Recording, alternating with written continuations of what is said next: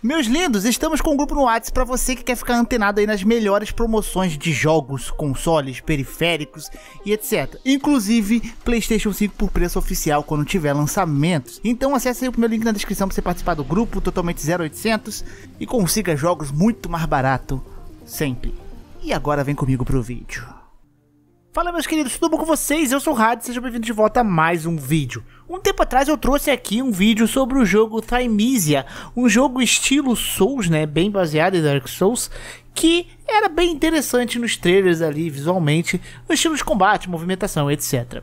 O jogo já tem data revelada agora para sair aí no final do ano, né, planejado para 9 de agosto desse ano, e já existe uma demo que você pode jogar. Acredito que essa demo vai ficar disponível até o dia 6, então vai lá e baixa, ela está disponível apenas na Steam, onde você pode testar o jogo até o primeiro boss, mais ou menos. É uma demo bem curtinha, mas dá para você ver como é que é o jogo. E é disso que nós vamos falar hoje aqui, do que eu achei do jogo, sobre com base nessa demo, coisas que o jogo acredito que precisa melhorar até seu lançamento e falar sobre a mecânica do jogo num geral. Então, antes de começar o vídeo, não esqueça de deixar o seu like, se inscrever no canal, puxa o banquinho e vem comigo pro vídeo. Thymesia é um jogo de ação em terceira pessoa, focado na dificuldade, combate cadenciado, estilo Souls, onde você tem pontos ali que você acessa, né? Que são tipo os beacons, onde são uma espécie de cadeira, você senta e aquilo ressuscita todos os inimigos do mapa. Quando você falece, por exemplo, fica ali o, os seus drops, né? De, de, entre aspas, almas. E você usa aquilo para upar o personagem. Você precisa voltar até o lugar para pegar, etc. Tem toda essa mecânica Souls. A tela de quando você falece é bem parecida com o Uziad.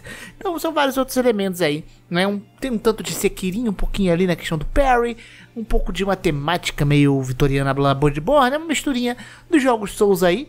Né? O jogo me chamou a atenção inicialmente pela movimentação do personagem no combate. Era uma movimentação interessante, visto que é um jogo de baixo orçamento e jogos de baixo orçamento tendem a ter uma movimentação de personagem um tanto travada e até um tanto esquisita.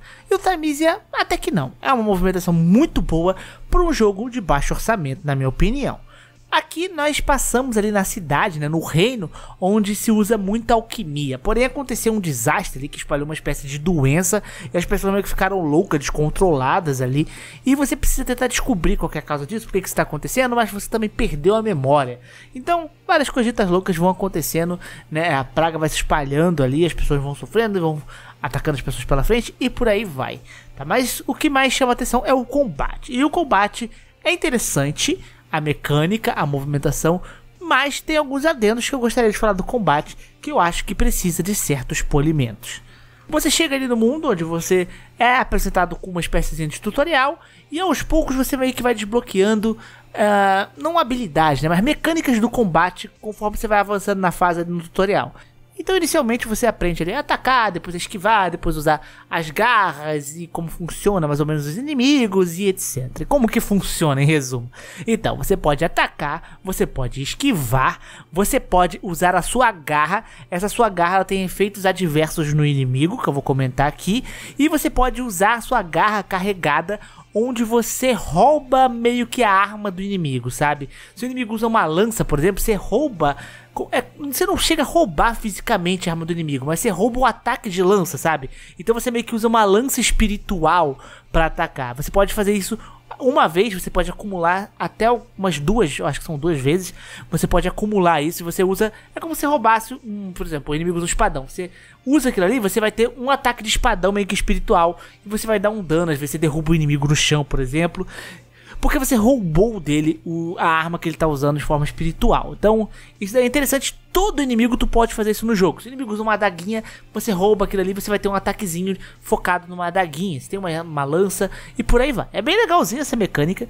Outra mecânica está ao redor do HP dos inimigos, o que deixa o jogo bem mais desafiador.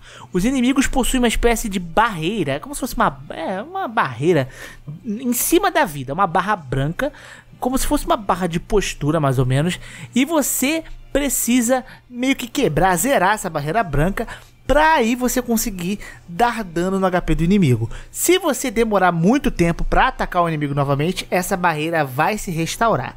Então isso deixa o combate bem mais frenético, onde você não pode ficar muito ah, vou ficar rodeando o inimigo aqui para pegar um ponto fraco. Ele vai encher essa barra de novo, você vai ter que tirar essa barra toda de novo do inimigo e dependendo dos inimigos mais fortes é muito demorado, é muito chato. A vantagem é que essa barra só enche até o HP máximo dele. Então, se o inimigo tá com metade da vida, essa barra vai encher até metade da vida dele.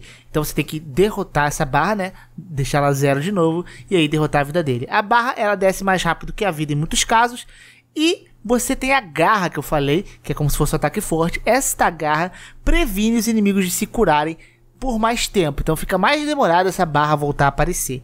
Tá? Então você tem o ataque da garra e você tem o ataque carregado dessa garra que, além de você prevenir o inimigo de restaurar esta barrinha branca, você também rouba o que eu falei ali, o ataque dele, né? A arma, a habilidade dele. Então esse é um diferencial do jogo.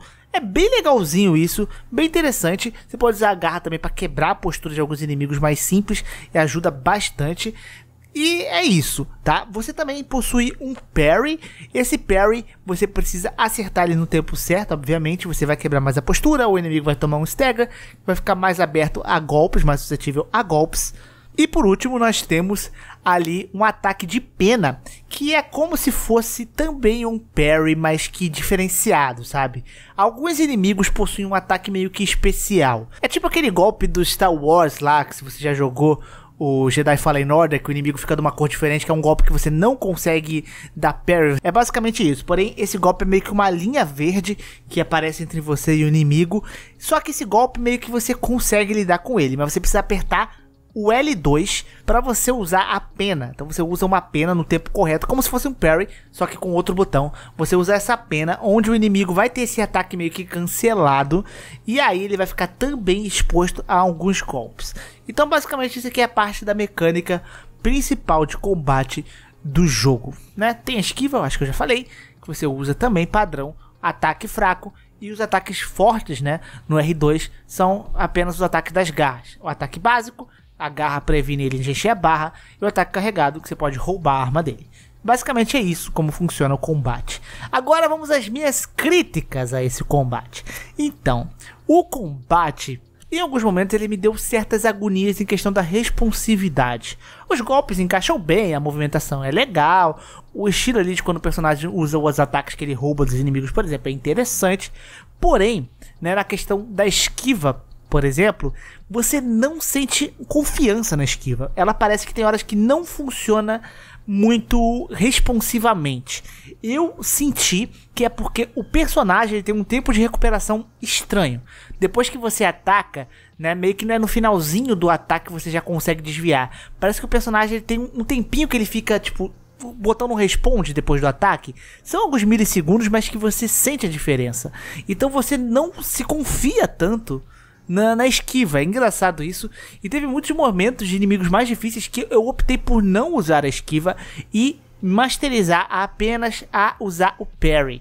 E para mim ficou um pouco mais simples isso, porque a esquiva não me deu muita confiança, os iframes dela não me dão muita confiança também. A esquiva é algo que eu achei muito inconsistente e é algo que eu acho que eles precisam melhorar.